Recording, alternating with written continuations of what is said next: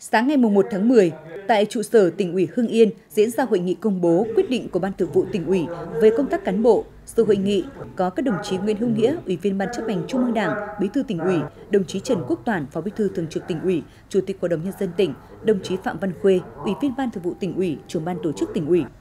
Hội nghị công bố quyết định của Ban Thường vụ tỉnh ủy đồng ý để đồng chí Nguyễn Văn Đoan, tỉnh ủy viên, bí thư huyện ủy, chủ tịch Hội đồng nhân dân huyện Yên Mỹ được nghỉ hưu trước tuổi theo nguyện vọng của cá nhân kể từ ngày 1 tháng 10 năm 2024. Đồng thời, công bố quyết định phân công điều động chỉ định đồng chí Trần Tung Chuẩn, tỉnh ủy viên, giám đốc Sở Khoa học và Công nghệ tham gia Ban chấp hành Đảng bộ, Ban Thường vụ huyện ủy, giữ chức Bí thư huyện ủy Yên Mỹ khóa 28, nhiệm kỳ 2020-2025, kể từ ngày 1 tháng 10 năm 2024.